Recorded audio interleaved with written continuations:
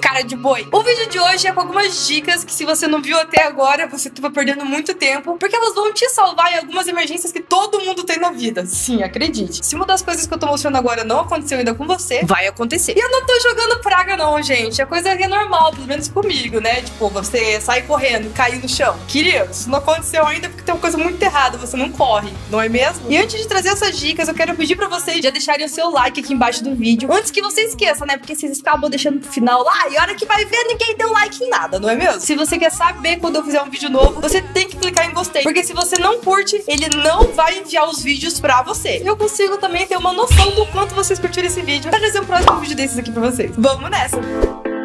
Vai sair, vai encontrar o boy, vai pra festa com as amigas, vai pra escola, vai pra qualquer lugar no mundo. E você foi passar o seu desodorante e você percebeu que ele acabou. Quem nunca? Pelo menos comigo já aconteceu umas 250 milhões de vezes. E aí, que nós faz? A gente sai do mesmo jeito, né? Tudo bem, fazer o quê? Só que quando você vai ver, geralmente na hora que você chegou no seu destino, você percebe que você tá com aquele cheiro nervoso de morrer. Uh, e não adianta, você pode ser a pessoa mais delicada do mundo. A suvaqueira vem pra todo mundo e a gente tem que prevenir. A solução é você pegar um pouquinho de bicarbonato de sódio. Você compra ele tanto no mercado, naquelas partes onde tem temperos, ou na farmácia. Só você chegar e pedir bicarbonato de sódio. Esse é o ingrediente principal. Eu tô colocando duas gotinhas de óleo essencial de limão, que também ajuda, mas não é obrigatório. Se você não tiver, tudo bem. Coloquei também duas colheres de água, colheres bem pequenininhas, porque eu tô usando na mesma proporção de colher que eu usei para colocar o meu bicarbonato. E aí eu vou vou mexer, mexer, mexer, mexer bem. E é essa mistura que eu vou pegar e vou passar nas minhas axilas assim que eu terminar de tomar banho. Gente, é o desodorante mais potente e mais saudável que você pode ter na vida. E muita, muita gente não usa só essa ideia como emergência, eles usam pra vida.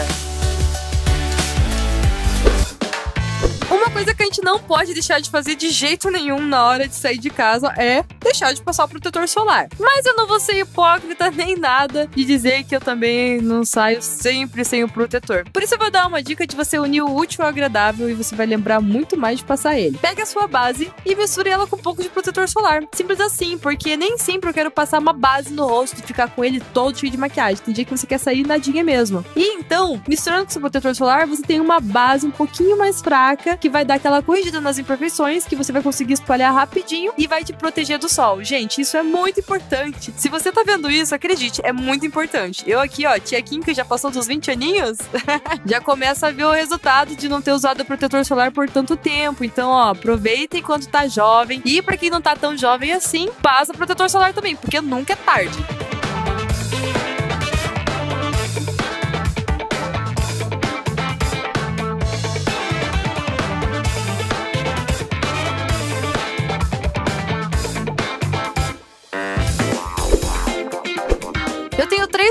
Orelha. E agora eu vou perguntar para você: quantas vezes você me viu de brinco? Pouquíssimas vezes mesmo, eu quase não uso. Então, sempre que eu vou colocar o brinco, eu tenho um problema. O buraquinho da minha orelha já está fechando e o brinco não entra. Eu tento apertar, ele fica vermelho, começa a machucar. E depois, quando eu chego no lugar, passa algumas horas, ele começa a doer muito, muito, muito a minha orelha. Então, o segredo para você não machucar a orelha na hora de colocar o brinco e ele também não ficar raspando durante o lugar que você tem que ir, é só você passar um pouquinho de vaselina no brinco, que ele vai entrar como uma luva e não vai te machucar nem incomodar. Oh.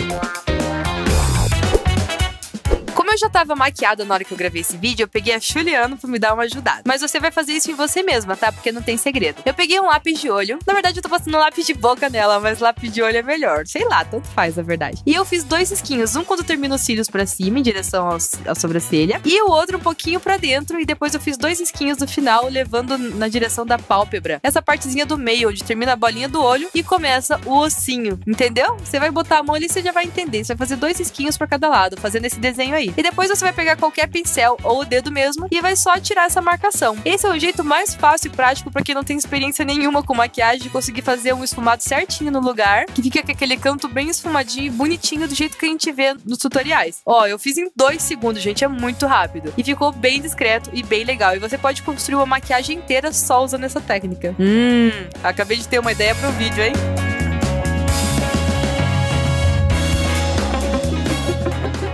I'm wondering how many men that you trapped. Dum dum birum Birum, birum. Ai, caí. Machuquei o joelho. Ah, meu joelho. Oh, oh, vida. E agora? Agora é só você pegar o enxaguante bucal, sim, o enxaguante bucal, e passar no seu machucado. Qualquer batida, qualquer machucado roxo que você tiver, passe isso. Que além de ser antisséptico, matar todas as bactérias de algum machucado que possa estar aberto na emergência, ele também ajuda a não deixar a área esbranquiçada e também diminui o roxo. Olha só que milagroso. Quem diria, né, gente? Enxaguante bucal é vida. Um beijo. Tchau.